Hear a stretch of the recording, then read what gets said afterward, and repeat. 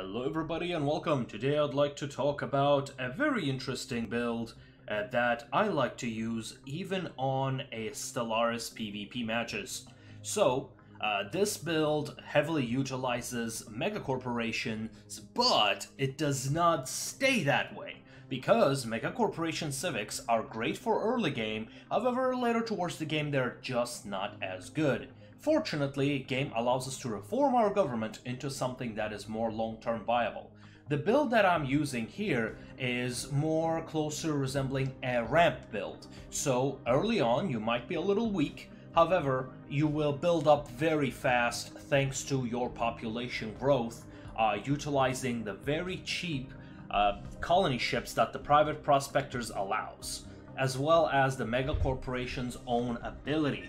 So the reason for that is because Mega Corporation on its basic gives you administrative capacity plus 20. Private Prospectors increase that bonus by plus 10, allowing you to have the highest administrative capacity early in the game. As you go more towards uh, from early to mid-game, uh, you will be able to reform your government. Now, you have the choice to reform your government after you have unlocked your third civic or before. I prefer to do it uh, um, after the third civic in order to save the 250 influence and use that influence for something else, but it is all circumstantial. If I don't have any um, enemies that I'm going at war with, if I'm not really short on influence, then I will do so early. But let's analyze how this build works early on.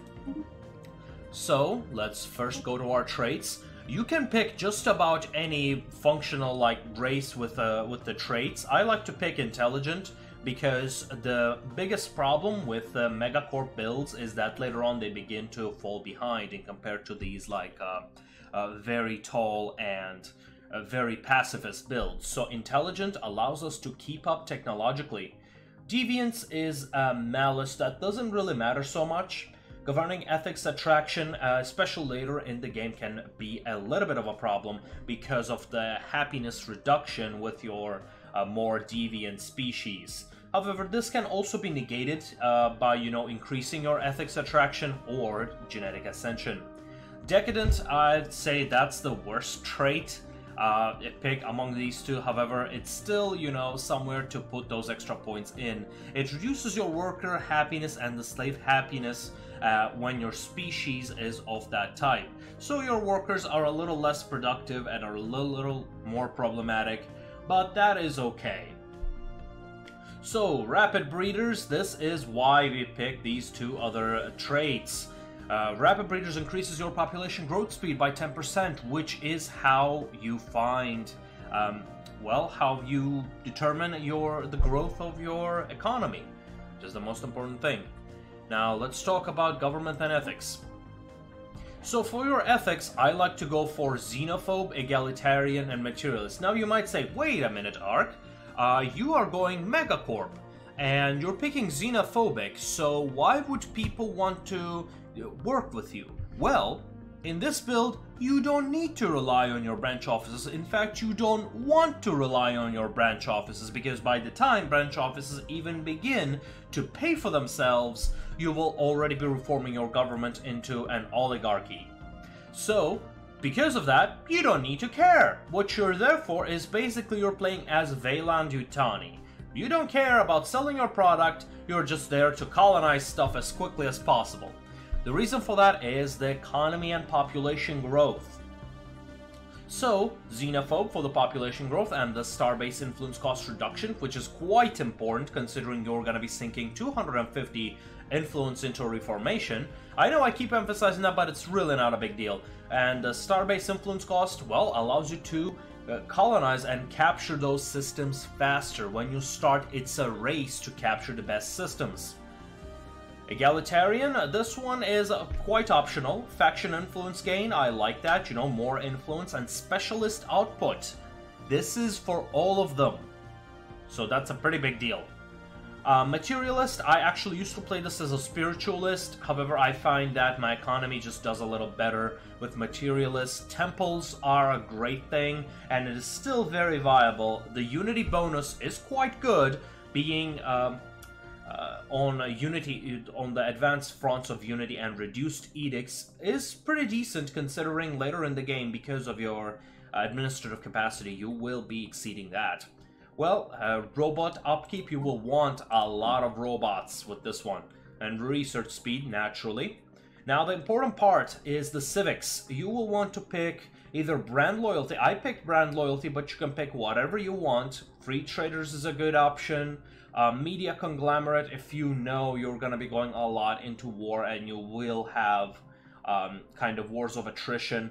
Ruthless Competition, this is also a pretty decent option. However, this is a more late game option. The reason for that is, by this point you usually will not be getting to max level of your leaders and 10% experience gain is not very noticeable. Trading posts, very viable as well. Brand loyalty, I just like to pick it for the 15% unity bonus uh, because you will also want to get those traits in a timely manner. Because before you colonize your, finish colonizing your first planet, you want to have at least two things selected, uh, two expansion points in your Unity tree. Private prospectors, as I mentioned, this allows you to build private colony ships. Private, private colony ships are basically identical to your colony ships, except instead of the exorbitant cost of 200 minerals, 200, 200 uh, consumer goods and 200 energy, you only pay 500 energy and even less if your leader had the correct trait. Uh, so this will allow you to quickly rush any uncolonized planets as quickly as possible. And because the colony ships are no longer as punishing as they used to be, the minus 8 um, energy cost, this is a great option for you to quickly ramp up your economy colonize planets before anybody else, and so have the fastest growing power. Now with that being said, let's take a look at this strategy in action. The first things you want to do is to have at least three science ships. These science ships go around, either excavate, uh, search stuff, and try to find the best places to colonize. So here it's pretty straightforward, you know, you try to optimize your options, you're trying to, you know, um, either have two construction ships or one. It all depends on the situation. I generally have one, but in this case, I noticed I could freely grow both both to my north and south. As such, I have went with two. Now, have going with two can be dangerous in a multiplayer game because all those um, alloys that you're investing into uh, capturing those places, your opponent might invest into building corvettes. So that's something important, do check the rules. But if there's a forced ceasefire or in a single player game you do not have any aggressive neighbors, go with two construction ships and invest all of all of your like alloys into building star star bases and capturing systems. So, with that being said, the big question with this one becomes how quickly should you colonize them and what planets should you colonize? The answer to that is simple, just like with anything else. Anything with like medium habitability, anything above like 50%, you should colonize them immediately. The reason for that, sure, your economy might stumble a little bit, but your population growth will be off the charts and your economy will probably stabilize about 30 years in. Uh, as you can see from this uh, footage, the, uh, I'm quickly colonizing any planets that I see and I see some somewhat colonizable planets, which raises my amount of planets to 6 or 7, which is pretty big. So with that, I make, make sure that my planets are specialized. I will have a planet that creates only minerals. Those planets are also generate my alloys. There's no specific reason for this, but it makes organization easier. The more you alleviate your mental load in this game, the better you can perform because then you can spend your thoughts on something more important such as war or planning your technology. So, after you have grown enough, what do you do next? You plan for your reformation. And when should you reform your government? Well, the answer to that is as soon as you have colonized all the planets, going to the mid mid game, and to me, mid game is less about the time and more about um, would be whether you have already expanded to all the areas you can without going to war. If you already have, then you are basically in the mid game. In that situation, your colony ships are not gonna matter. So, what you should do is you go to your government tab, reform your government. I personally prefer to pick oligarchy thank, because of the agenda bonuses and the leader bonuses that stay for 20 years. And uh, from there, I go with Byzantine bureaucracy as well as efficient, uh, efficient what was it, administration that increases your administrative capacity. And when you should try to go for that is also depend on your administrative capacity currently. If you aren't at the edge of it, uh, if you haven't exceeded your administrative capacity yet, you can still stay for a little bit if you don't have the influence. It's not a big rush. But when you have colonized enough, yeah, you can spend your influence. There's just not many places left to spend your influence. So you can reform your government and get those bonuses. You can also use it to say for research, spirit if you're a spiritualist for your unity, I prefer to save it and respond to it situationally. If you don't, you can focus on getting those edicts out quickly and increase your research or whatever the whatever the thing that you can increase. So, well, with that being said, that basically summarizes what we do in the mid game. And in the mid game, what you do with your superior economy, you will start gathering military military capacity. You will try to maximize your military capacity uh, with your better economy, and you will find even AI on Grand Admiral difficulty will start being inferior to your economy. So, after you have the economic advantage, you just keep on growing, make sure all of your planets have reached at least 10 population so that you can increase your population even more. If you have the robots, always build the robots first, and I would suggest avoid genetic clinics. The reason for avoiding genetic clinics is simple. It's because they they take 125 years to even begin to pay off, and early on in the game, every point of resource is very valuable.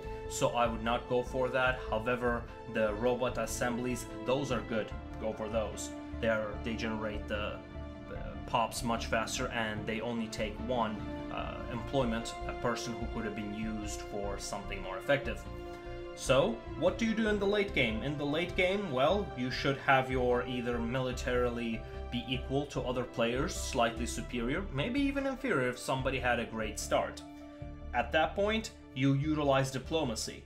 At that point, you, you know, late game is heavily reliant on to exploit what you have at the time. Start chasing those leviathans, start finishing up storylines and finish up your conquests uh, you will also want to avoid direct conquest. What I would suggest is get nihilistic acquisition and genetic ascension.